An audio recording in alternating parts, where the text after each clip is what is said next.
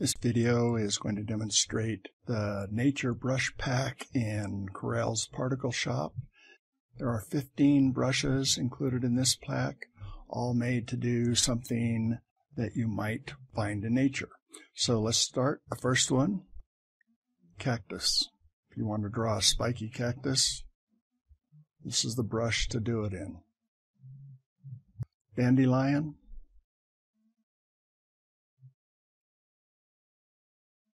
Make the brush smaller if you want smaller dandelions. The next brush is dirt. It is made to give you a dirty feel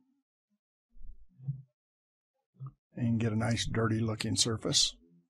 Next one is tuft of grass.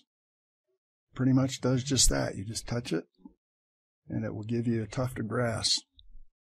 If you want it to spread out, touch and move your cursor a bit to the side.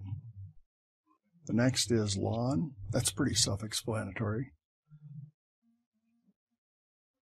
The next is muddy ground. Of course, best used with a muddy color.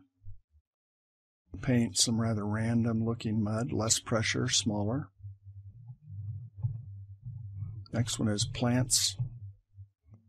And you just kind of touch and make a quick drag off in a direction and you'll have a plant. Vine. This is good for example jungle vines. The more you move the cursor, the crazier it becomes.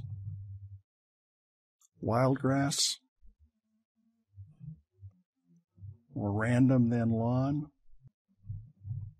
Windy grass.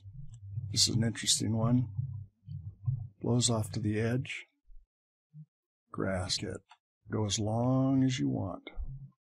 And that is the nature pack. Lots of things you can use in there to um, make a picture look like a jungle or a field or whatever you want. Uh, give it a try. I think you will like it.